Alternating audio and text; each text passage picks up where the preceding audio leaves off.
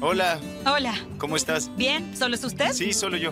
¿Quiere una mesa o sentarse en el bar? En el bar. Bien, por aquí. Chantel se fue hace un día y disfruto de mi libertad. Es lindo. Desde que nos mudamos a la nueva casa, las cosas han estado muy tensas. Su sopa. Chantel cree que después del viaje a República Dominicana sigo con toda la ira. Y el hecho de que mi padre no estuviera ahí me hizo cerrar ese capítulo de mi vida.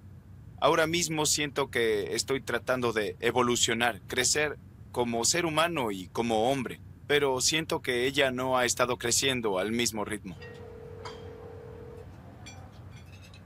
Hola, Hola, ¿cómo estás? bien, ¿y tú? Estoy bien. ¿Cómo fue el viaje de San Diego a Tijuana?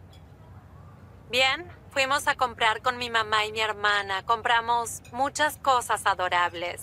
También tengo algo para ti. Te compré un regalo. Ah, Y espero que te guste. Eh, gracias.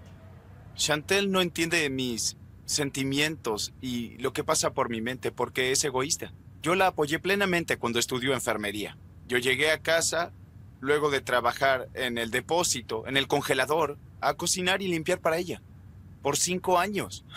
y ahora que acabo de empezar un trabajo nuevo, esperaba que Chantel fuera más comprensiva. Pero no ha hecho nada. ¿Cómo has estado? Ah, estoy cenando en el restaurante, en el de siempre, comiendo sancocho.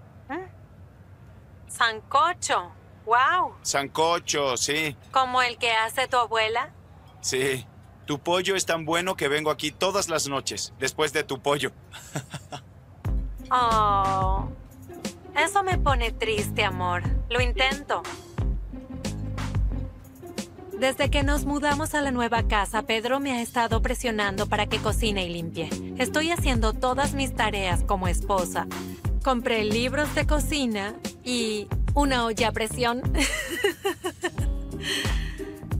Siento que hago tantas cosas como Pedro y creo que está claro que con mis acciones estoy tratando de hacer aún más.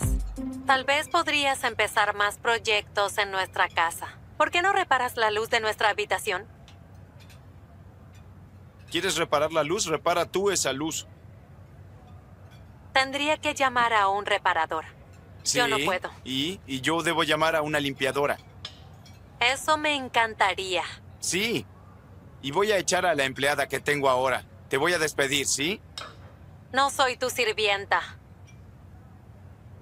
Trabajo todo el día y cuando llego a casa preparo la cena. Estoy tratando de mejorar. Cuando me dijo que no hacía suficiente, empecé a hacer más de lo que me correspondía. Creo que quiere hacerme sentir mal.